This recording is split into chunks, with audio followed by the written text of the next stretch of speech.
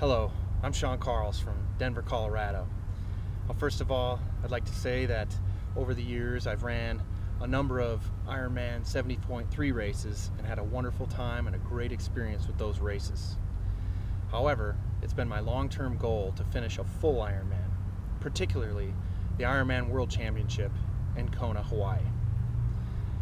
Now my interests have changed over the last six months in that my daughter was born and unfortunately Sydney Karls, my daughter, was born with a severe muscle disorder.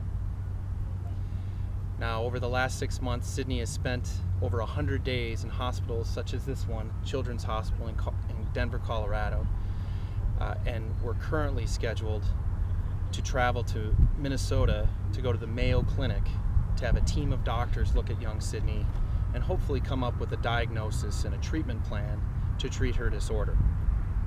Now it's my goal to run in the race at Kona and not only finish the race, but spread awareness for kids that suffer from these disorders, not just Sydney, but all the hundreds and thousands of other kids that suffer from this disorder.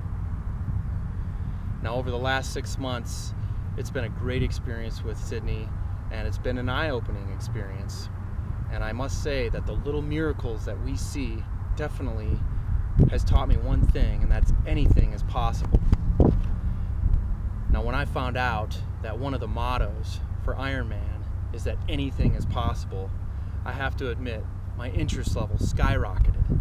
My motivation, my passion to run in Kona and run for Sydney and run for all these other kids skyrocketed.